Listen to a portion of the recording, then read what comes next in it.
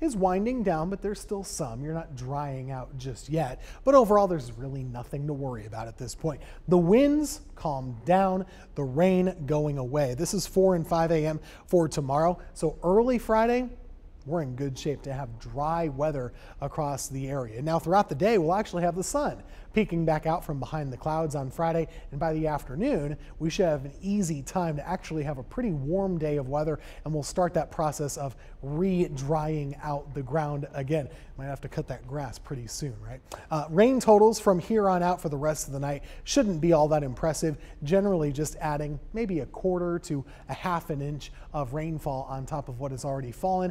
That's about it. We do still have our News 2 WFMY Weather Impact Alert Day. It continues for the rest of tonight and into early on Friday. The reason is rivers are going to continue to rise. The Haw River has already risen from about two and a half feet up to around 19 feet. From there, it could still go as high as 27 feet. That would be happening overnight tonight and into early tomorrow. So the rivers flooding, that's still a concern, especially over toward Haw River. Cleanup efforts, maybe you're picking up uh, you know, anything that's blown around in your yard, limbs, trees, those types of things.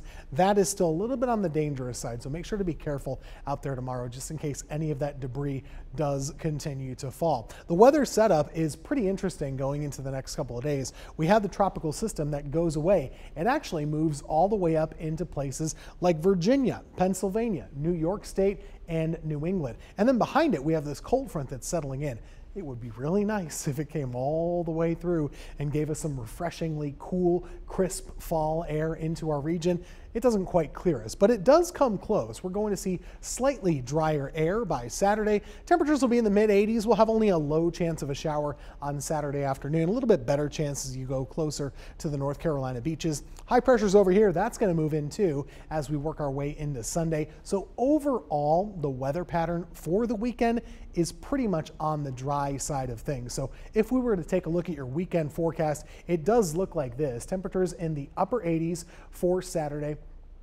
mostly a dry forecast of weather there. And then on Sunday, we'll call for highs to be a little bit on the cooler side, mostly in the low to mid 80s for Sunday afternoon with just a low chance of a shower or a pop-up storm. If we want to look at the long-range forecast, you'll see here that low pressure, what used to be tropical depression Debby, is continuing to move to the north out of North Carolina and into Virginia. So for tomorrow, all of that rain is pretty much gone. And like I said, we're pretty dry going into Saturday, and we should be pretty dry overall going into Sunday as well. That's the general weather pattern from here. The seven day forecast doesn't have a lot of variety. In fact, we're going to see a lot of the same kind of weather over the next couple of days. For tomorrow, still be on the alert side of things, especially for the morning. That could be when we still have some flooding happening across the area.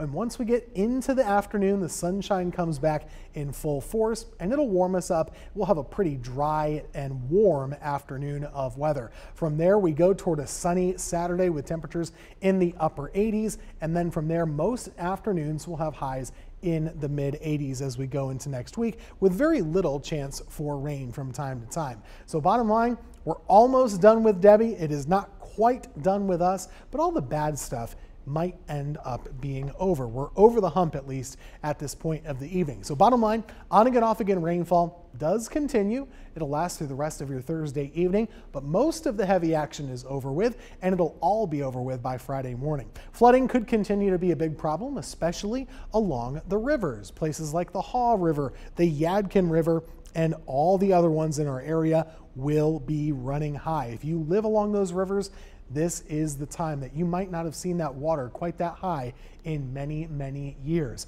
The winds have already weakened, and that's good news. We'll hope to keep on seeing calmer conditions as the night rolls on. To get the latest, we'll have more updates throughout the evening.